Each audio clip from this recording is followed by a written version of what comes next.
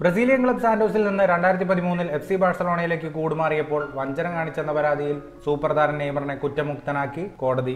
നെയ്മറിന്റെ player റൈറ്റ്സിൽ ഭാഗിക ഉടമസ്ഥാവകാശമുണ്ടായിരുന്ന ബ്രസീൽ കമ്പനി ഡി നൽകിയ കേസ് തീർപ്പാക്കിയാണ് സ്പാനിഷ് കോടതി താരത്തെ കുറ്റമുക്തനാക്കിയത്. കേസിൽ ഒപ്പം ആരോപണ വിധേയരായിരുന്ന നെയ്മറിന്റെ അച്ഛൻ അമ്മ സാന്റോസിന്റെയും ബാഴ്സലോണയുടെയും പ്രസിഡന്റുമാർ എന്നിവരും കുറ്റമുക്തരായി. ബ്രസീലിലെ സൂപ്പർ മാർക്കറ്റ് ശൃംഖലയായ ഡി ഐ എസ് രണ്ടായിരത്തി ഒമ്പതിൽ നെയ്മറിന്റെ കുടുംബത്തിന് ഏകദേശം എട്ട് കോടി രൂപ നൽകി. താരത്തിന്റെ ഭാവി ട്രാൻസ്ഫറുകളിൽ തുകയുടെ നാൽപ്പത് ശതമാനത്തിന്റെ അവകാശം കരസ്ഥമാക്കിയിരുന്നു. എന്നാൽ രണ്ടായിരത്തി പതിമൂന്നിൽ സാന്റോസിൽ നിന്ന് ബാഴ്സയിലേക്ക് മാറുമ്പോൾ യഥാർത്ഥ കൈമാറ്റ തുക എഴുന്നൂറ്റി ഇരുപത് കോടി രൂപയായിരുന്നു. എന്നാൽ നൂറ്റമ്പത് കോടി രൂപ മാത്രമാണെന്ന് രേഖകളിൽ കാണിച്ചതെന്നും ഇതിന്റെ നാൽപ്പത് ശതമാനമാണ് നൽകിയതെന്നും ഇത് വഞ്ചനയാണെന്നും കാണിച്ചായിരുന്നു ഡി പരാതി. ഇതിൽ കഴമ്പില്ലെന്നാണ് കോടതി വിധി. യഥാർത്ഥ കൈമാറ്റ തുക ഒന്നേ പോയിന്റ് ഏഴ് കോടി യൂറോ തന്നെയാണെന്നും അതിന്റെ നാൽപ്പത് ശതമാനമായ അറുപത്തെട്ട് ലക്ഷം യൂറോ ഡി ഐ എസിന് ലഭിച്ചിട്ടുണ്ടെന്നും നിരീക്ഷിച്ച കോടതി ബാക്കി ഇടപാടുകളെല്ലാം വെവ്വേറെ കരാറുകളുടെ ഭാഗമാണെന്നും കൈമാറ്റ തുകയിൽ പെടുന്നതല്ലെന്നും വിധിച്ചു.